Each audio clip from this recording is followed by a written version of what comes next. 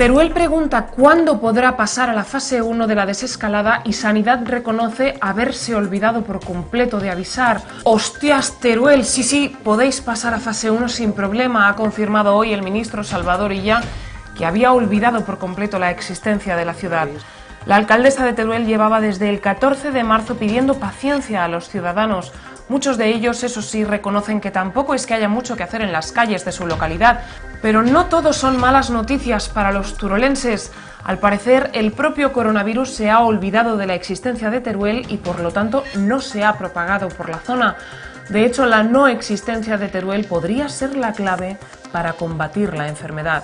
Pero para eso los científicos que investigan la vacuna tendrían que enterarse de que existe la ciudad en cuestión. Hacemos una pausa y volvemos con unas noticias que sí forman parte de nuestro plano existencial.